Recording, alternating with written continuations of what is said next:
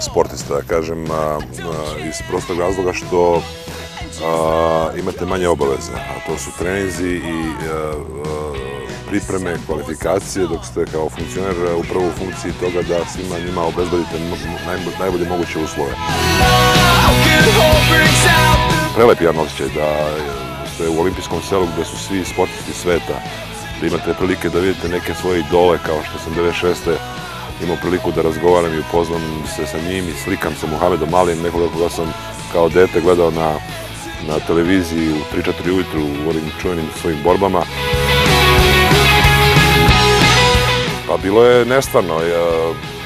Obično na utakmice košarkaških e, reprezentacija dođe od 15 do 20 hiljada. Igrali smo u Georgia domu gde je bilo preko 60 hiljada ljudi.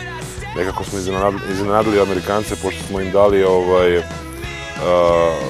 jak otpor u, u, u prvom polovremenu, pa čak i početkom drugog, gde su se malo i uplašili.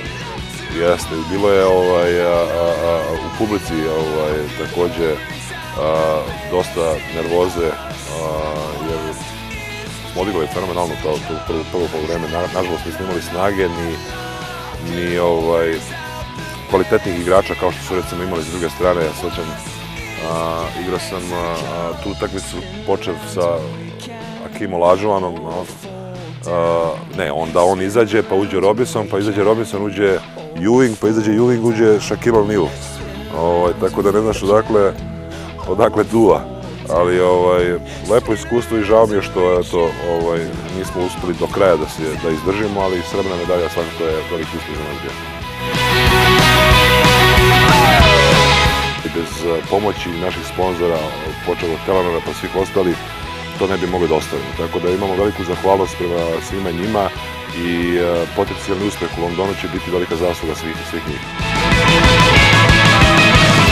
Ako imate sportista i čoveka kao Novak Đoković, to je Boži dar da e, jedna takva ličnost ponese vašu zastavu i da sve oči sveta budu uprete u tom trenutku u njega, a pošto je toliko prepoznatljiv, znači da, da nosi zastavu svoje zemlje i iz koje je on zemlje.